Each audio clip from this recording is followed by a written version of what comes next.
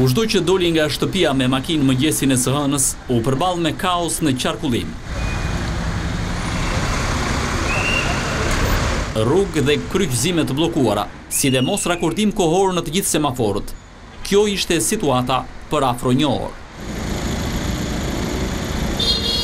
Në segmentet kryesore të Tiranës u krijuan radhë të gjata mjetesh. Zonat më problematike ishin njëzet e një Dhjetori, Zogu i Zi, stacioni i trenit dhe rruga pranë burgut. Për shkak të kaosit të krijuar, Policia Rrugore zbarkoi në terren për të normalizuar qarkullimin e mjeteve. E kontaktuar nga Vision Plus, Bashkia e Tiranës sqaroi se i gjithë ky problem erdhi pas një defekti në serverat qendrorë të sistemit të semaforëve.